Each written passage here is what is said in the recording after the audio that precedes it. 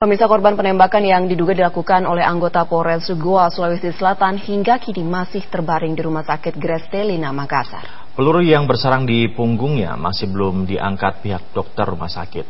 Rahmat, salah seorang warga kecamatan Sombaupu, Kabupaten Goa, Sulawesi Selatan mengalami luka serius akibat terkena tembakan di bagian punggungnya. Rahmat ditembak saat Polres Goa menggelar razia gabungan di Jalan Aeropala Goa. Menurut pengakuan korban, ia sengaja ditembak oleh pelaku tanpa alasan yang jelas. Bahkan sebelumnya korban juga dipukul di bagian wajah dan ditodong dengan senjata api.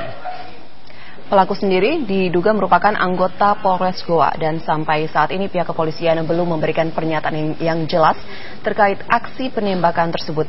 Melalui pesan singkat Kapolres Goa AKBP Lafri, Prasetyono mengatakan pihaknya masih menyelidiki dan mendalami aksi penembakan yang diduga dilakukan oleh anggotanya tersebut.